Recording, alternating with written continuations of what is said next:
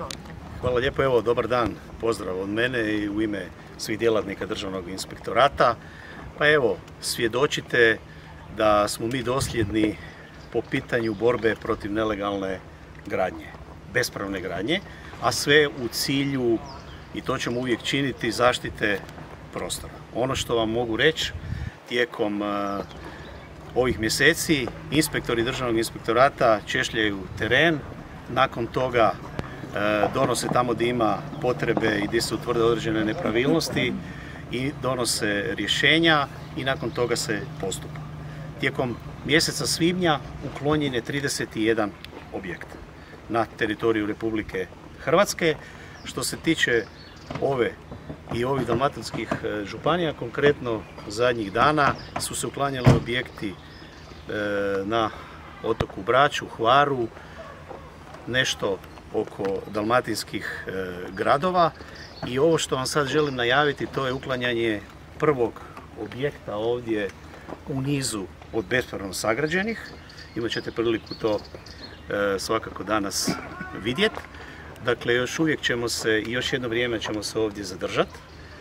Ovdje još ima bespravno izgrađenih objekata. Idemo po proceduri tako da ćemo uklanjati i te objekte kada proceduru privedemo kraju. Ono što vam mogu reći da najveći postotak bespravne gradnje je na području Istre i Dalmacije i samo na ove četiri županije, Splitsko-Dalmatinska, Šibensko-Kninska, Zadarska i Dubrovačko-Neretvanska, u 1.4.2019. smo napravili više od 7000 nadzora i pokrenuli više od 1300 postupaka. Negdje gotovo 50, 50 kaznenih prijava zbog bespravne gradnje u zaštićenim područjima i nepoštivanja državnog pečata smo podnijeli.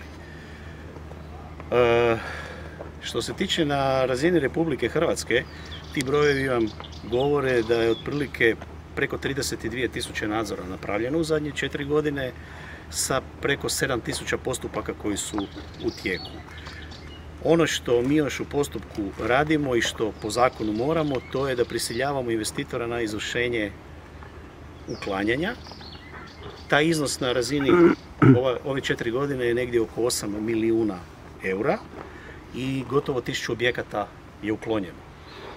Samo na području ove četiri županije je taj iznos nešto manji od 5 milijuna eura kad prisiljavamo kaznama e, investitora na izvršenje da ukloni bespravno sagrađene objekte. Evo to je u najkraćim crtama.